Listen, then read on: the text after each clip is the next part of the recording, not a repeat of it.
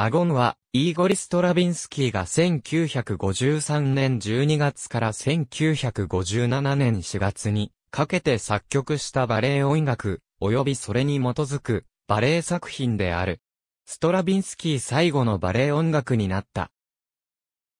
ストラビンスキーの同時代の他の作品と同様、12音技法が部分的に使われている。題名は、集まり、競争、闘争などの意味を持つ古代ギリシア語のガンマニューに由来する。ストーリーは存在しない。中央部分では、サラバンド、ガイアルド、ブランルのような古い舞曲を組み合わせている。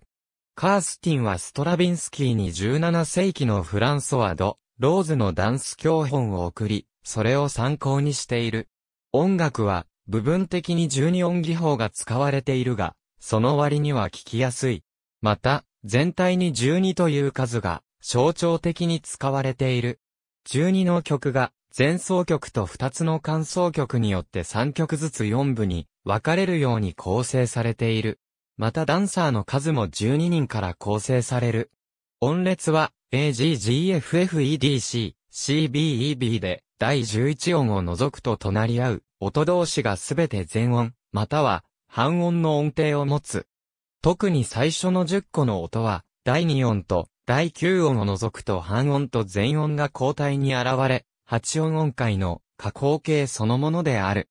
ニューヨークシティバレー団のリンカーンカースティンによる移植を受けて、ストラビンスキーは1953年12月に作曲を開始した。しかし作曲はディラントマスツイートを及び、カンティクムサクルムによって中断された。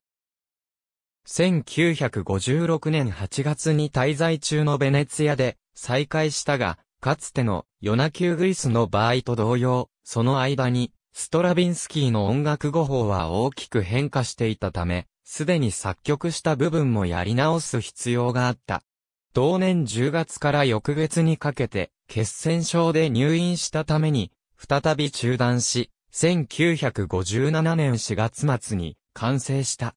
演奏会初演は1957年6月17日に作曲者75歳の誕生日を祝う目的で行われたオールストラビンスキー演奏会にてロバート・クラフトの指揮により演奏された。バレエはジョージ・バランシンが振り付け、同年12月1日にニューヨークにてニューヨークシティバレエ団により初演された。ストラビンスキーは抽象的な内容のアゴンが監修に受けるとは思っておらず、舞台での初演は見ないで出て行った。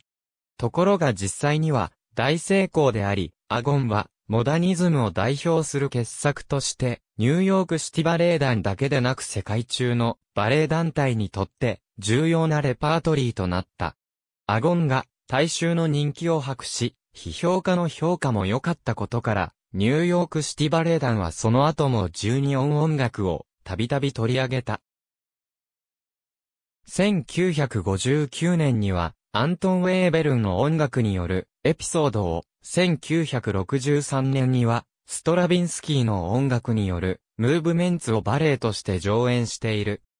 フルート3、オーボエに、コーラングレ、クラリネットに、バスクラリネット、ファゴットに、コントラファゴット、ホルン4、トランペット4、テナートロンボーンに、バストロンボーン、マンドリン、ピアノ、ティンパニ、タムタム、シロフォン、カスタネット、ハープ、言語部演奏時間は約20分。前奏曲と2つの間奏曲はほぼ同じ内容である。パドドゥは特に長く複雑な曲になっている。その後の2曲はごく短く、最後に冒頭の特徴的なファンファーレが帰ってくる。ありがとうございます。